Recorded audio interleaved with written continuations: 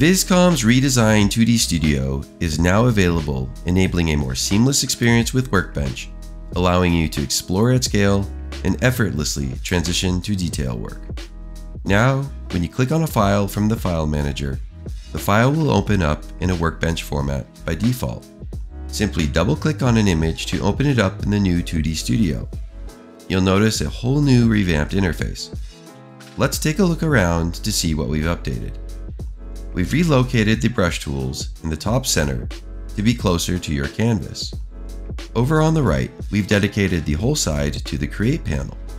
As before, this is where you can render and refine your images and adjust their settings for style, reference image, drawing influence, and the number of images you want to generate.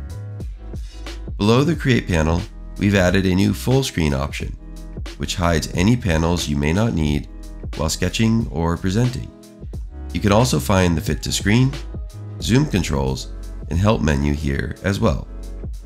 On the left, we've created a whole new dedicated Layers panel. You can now work on compositing layers with even greater control while you create. In addition to this, we've added some powerful features to Vizcom that can be found right within the Layers panel. The first is the ability to convert any layer into a 3D model. Vizcom can now take a 2D image and convert it into a 3D model. Simply click on the right side of a layer and choose Generate 3D Model from Layer. Vizcom will isolate the core idea of the sketch from the background and create a 3D model from the sketch and place it on a new layer. For best results, we recommend using side profile views with this function. You can adjust the scale and angle of the model using the bounding box controls and the 3D cursor. And because this is a layer, you can use it in the same way you would use any other layer, with the ability to duplicate it, move it, merge it, and even change its opacity in blending mode. You can reposition the model and use it as an underlay to sketch over, or directly create a rendering of it.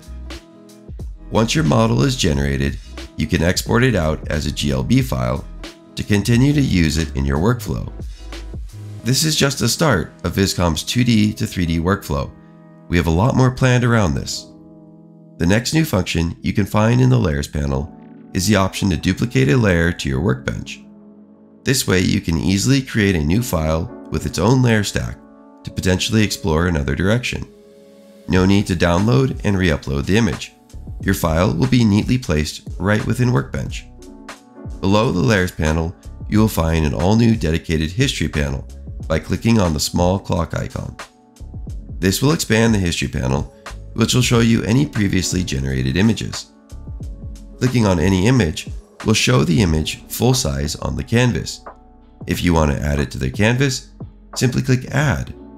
You can also download the image by clicking the Download button. But we've taken the history function one step further. Now, when you click on a preview of an image in history, the prompt, style, and image influence will be preloaded on the Create panel.